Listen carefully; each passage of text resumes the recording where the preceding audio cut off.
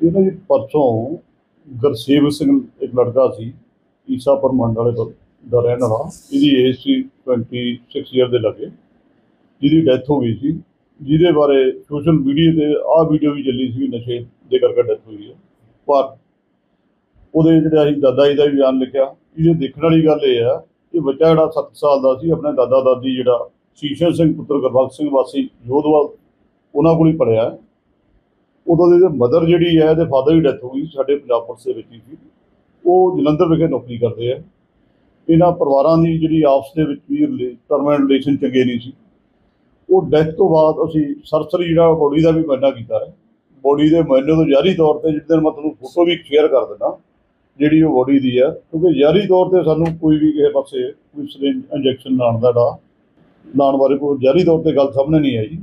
ਪਰ ਫਿਰ ਵੀ ਅਸੀਂ ਜਿਹੜਾ ਡਾਕਟਰਾਂ ਦੇ ਬੋਰਡ ਤੋਂ ਇਹਦਾ ਇਹ ਜ਼ਰੂਰ ਹੈ ਵੀ ਬੱਚਾ ਨਸ਼ਾ ਪਹਿਲਾਂ ਪਹਿਲਾਂ ਕਰ- ਕਰਦਾ ਵੀ ਰਿਹਾ ਹੈ। ਅਸੀਂ ਇਸ ਸ਼ੱਕ ਦੀ ਗੁੰਜਾਇਸ਼ ਨੂੰ ਲੈ ਕੇ ਬੋਡੀ ਦਾ ਜਿਹੜਾ ਪੋਸਟਮਾਰਟਮ ਕਰਾਵਾਂਗੇ ਡਾਕਟਰਾਂ ਦੇ ਬੋਰਡ ਤੋਂ। ਜੋ ਵੀ ਮੌਤ ਦੇ ਜਾਰੀ ਕਰਨ ਦਾ ਪਤਾ ਲੱਗੂਗਾ ਡਾਕਟਰ ਪੋਸਟਮਾਰਟਮ ਦੀ ਰਿਪੋਰਟ ਤੋਂ ਬਾਅਦ ਉਹਦੇ ਅਨੁਸਾਰ ਜਿਹੜੀ ਕਾਨੂੰਨ ਅਨੁਸਾਰ ਸਖਤ ਕਾਰਵਾਈ ਕੀਤੀ ਜਾਵੇ। ਇਹ ਕੋਈ ਸਟੇਟਮੈਂਟ ਦਿੱਤੀ ਗਈ ਵਾਲੇ ਮਤਲਬ ਵੱਲੋਂ ਕੋਈ ਸਟੇਟਮੈਂਟ ਦਿੱਤੀ ਗਈ ਨਹੀਂ ਇਹਦੇ ਬਦਲ ਨੂੰ ਪਰਸੋਂ ਦੇ ਸਾਡੇ ਸੱਚੋ ਸਾਹਿਬ ਨਾਲ ਦੋ ਵਾਰੀ ਫੋਨ ਕੀਤਾ।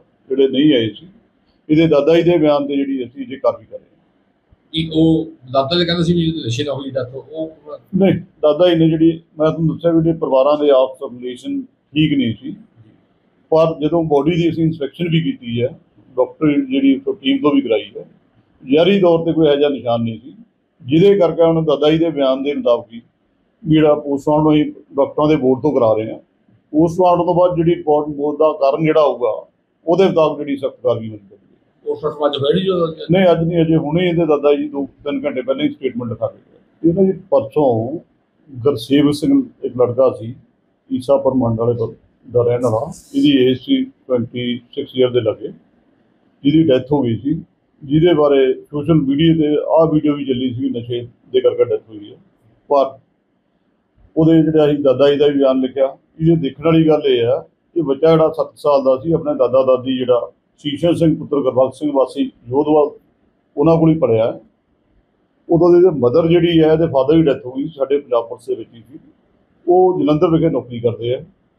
ਇਹਨਾਂ ਪਰਿਵਾਰਾਂ ਦੀ ਜਿਹੜੀ ਆਪਸ ਦੇ ਵਿੱਚ ਵੀ ਟਰਮਨ ਰਿਲੇਸ਼ਨ ਚੰਗੇ ਨਹੀਂ ਸੀ। ਉਹ ਡੈਥ ਤੋਂ ਬਾਅਦ ਅਸੀਂ ਸਰਸਰੀ ਜਿਹੜਾ ਬੋਡੀ ਦਾ ਵੀ ਮੁਆਇਨਾ ਕੀਤਾ ਹੈ। ਬੋਡੀ ਦੇ ਮੁਆਇਨੇ ਤੋਂ ਜਾਰੀ ਤੌਰ ਤੇ ਜਿਸ ਦਿਨ ਮੈਂ ਤੁਹਾਨੂੰ ਫੋਟੋ ਵੀ ਸ਼ੇਅਰ ਕਰ ਦਿੰਦਾ ਜਿਹੜੀ ਉਹ ਬੋਡੀ ਦੀ ਹੈ ਕਿਉਂਕਿ ਜਾਰੀ ਤੌਰ ਤੇ ਸਾਨੂੰ ਕੋਈ ਵੀ ਕਿਸੇ ਪਾਸੇ ਕੋਈ ਸਿਰਿੰਜ ਇੰਜੈਕਸ਼ਨ ਲਾਉਣ ਦਾ ਡਾ ਲਾਉਣ ਬਾਰੇ ਕੋਈ ਜਾਰੀ ਤੌਰ ਤੇ ਗੱਲ ਸਾਹਮਣੇ ਨਹੀਂ ਆਈ। ਪਰ ਫਿਰ ਵੀ ਅਸੀਂ ਜਿਹੜਾ ਡਾਕਟਰਾਂ ਦੇ ਬੋਰਡ ਤੋਂ ਇਹਦਾ, ਇਹ ਜ਼ਰੂਰ ਹੈ ਵੀ ਬੱਚਾ ਨਸ਼ਾ ਪਹਿਲਾਂ ਪਹਿਲਾਂ ਕਰ- ਕਰਦਾ ਵੀ ਰਿਹਾ ਹੈ। ਅਸੀਂ ਇਸ ਸ਼ੱਕ ਦੀ ਗੁਜਾਇਸ਼ ਨੂੰ ਲੈ ਕੇ ਬੋਡੀ ਦਾ ਜਿਹੜਾ ਪੋਸਟਮਾਰਟਮ ਕਰਾਵਾਂਗੇ ਡਾਕਟਰਾਂ ਦੇ ਬੋਰਡ ਤੋਂ। ਜੋ ਵੀ ਮੌਤ ਦੇ ਜਾਰੀ ਕਰਨ ਦਾ ਪਤਾ ਲੱਗੂਗਾ ਡਾਕਟਰ ਪੋਸਟਮਾਰਟਮ ਦੀ ਰਿਪੋਰਟ ਤੋਂ ਬਾਅਦ। ਉਹਦੇ ਅਨੁਸਾਰ ਜਿਹੜੀ ਕਾਨੂੰਨ ਅਨੁਸਾਰ ਸਖਤ ਕਾਰਵਾਈ ਕੀਤੀ ਜਾਵੇ। ਇਹ ਕੋਈ ਸਟੇਟਮੈਂਟ ਦਿੱਤੀ ਵਾਲੇ ਮਤਲਬ ਵੱਲੋਂ ਕੋਈ ਸਟੇਟਮੈਂਟ ਦਿੱਤੀ ਗਈ ਨਹੀਂ ਇਹਦੇ ਬਦਲ ਨੂੰ ਪਰਸੋਂ ਦੇ ਸਾਡੇ ਸੱਚੋ ਸਾਹਿਬ ਨਾਲ ਦੋ ਵਾਰੀ ਫੋਨ ਕੀਤਾ ਜਿਹੜੇ ਨਹੀਂ ਆਏ ਸੀ। ਇਹਦੇ ਦਾਦਾ ਜੀ ਦੇ ਬਿਆਨ ਤੇ ਜਿਹੜੀ ਅਸੀਂ ਜੇ ਕਾਰਵਾਈ ਕਰ ਰਹੇ ਹਾਂ। ਕਿ ਉਹ ਦਾਦਾ ਜੀ ਕਹਿੰਦੇ ਸੀ ਵੀ ਨਸ਼ੇ ਨਾਲ ਹੋਈ ਡੈਥ ਉਹ ਨਹੀਂ ਦਾਦਾ ਜੀ ਨੇ ਜਿਹੜੀ ਮੈਂ ਤੁਹਾਨੂੰ ਦੱਸਿਆ ਵੀ ਜਿਹੜੇ ਪਰਿਵਾਰਾਂ ਦੇ ਆਪਸ ਰਿਲੇਸ਼ਨ ਠੀਕ ਨਹੀਂ ਸੀ। ਪਰ ਜਦੋਂ ਬੋਡੀ ਦੀ ਅਸੀਂ ਇਨਸਪੈਕਸ਼ਨ ਵੀ ਕੀਤੀ ਹੈ ਡਾਕਟਰ ਜਿਹੜੀ ਟੀਮ ਤੋਂ ਵੀ ਕਰਾਈ ਹੈ ਜਾਰੀ ਤੌਰ ਤੇ ਕੋਈ ਇਹੋ ਜਿਹਾ ਨਿਸ਼ਾਨ ਨਹੀਂ ਸੀ ਜਿਹਦੇ ਕਰਕੇ ਉਹਨਾਂ ਦਾਦਾ ਜੀ ਦੇ ਬਿਆਨ ਦੇ ਮੁਤਾਬਕ ਜਿਹੜਾ ਪੋਸਟਮਾਰਟਮ ਅਸੀਂ ਡਾਕਟਰਾਂ ਦੇ ਬੋਰਡ ਤੋਂ ਕਰਾ ਰਹੇ ਹਾਂ। ਪੋਸਟਮਾਰਟਮ ਤੋਂ ਬਾਅਦ ਜਿਹੜੀ ਰਿਪੋਰਟ ਮੌਤ ਦਾ ਕਾਰਨ ਜਿਹੜਾ ਹੋਊਗਾ ਉਹਦੇ ਮੁਤਾਬਕ ਜਿਹੜੀ ਸਖਤ ਕਾਰਵਾਈ ਹੋਣੀ ਚਾਹੀਦੀ ਹੈ। ਉਹ ਫਸਵਾ ਚ ਹੋਈ ਜੋ ਨਹੀਂ ਅੱਜ ਨਹੀਂ ਅਜੇ ਹੁਣੇ ਇਹਦੇ ਦਾਦਾ ਜੀ ਦੋ ਤਿੰਨ ਘੰਟੇ ਪਹਿਲਾਂ ਹੀ ਸਟੇਟਮੈਂਟ ਲਿਖਾ ਕੇ